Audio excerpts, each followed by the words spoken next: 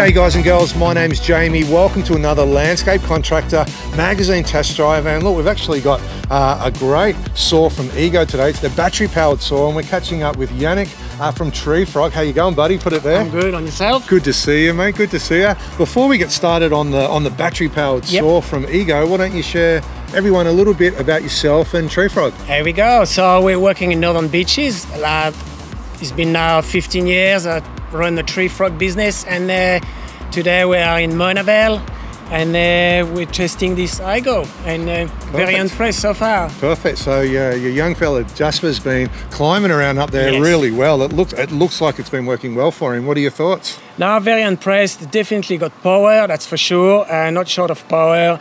It's quite compact, light, like the design.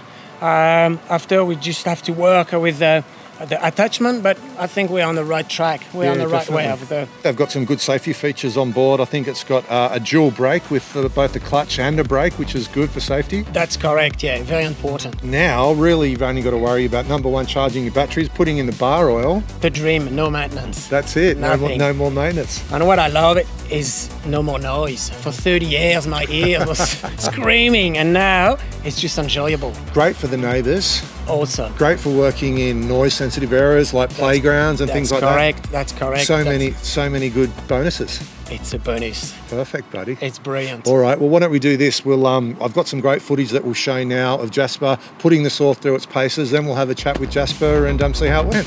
That looked good. Let's do it. Thanks.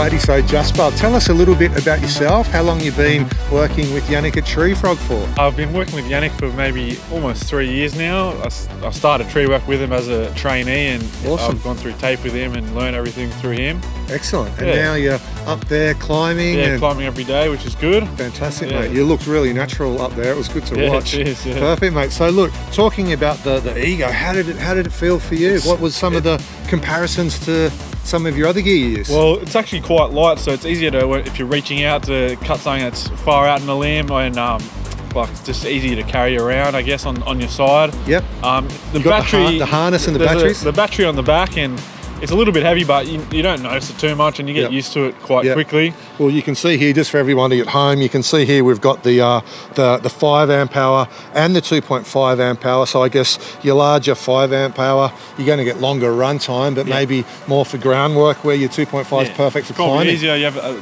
just have a few of the smaller batteries ready to go and you can just swap them around as you go. Awesome. Just like you fill up a, a petrol saw, you just fill it up as you go. Beautiful. Yeah. You just got to change your mentality, right? Rather yeah. than doing the fuel, you just got to charge every night. Yeah, exactly right. Get used yeah. to it.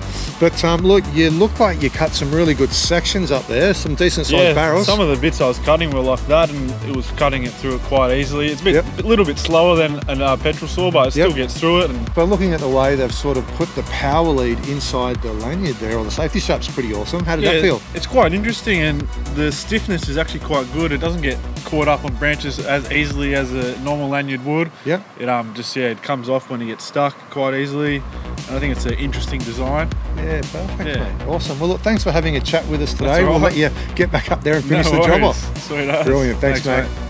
Thanks so much for tuning in for another test drive. We hope you love the Ego commercial top-handled chainsaw. It's been an absolute beast.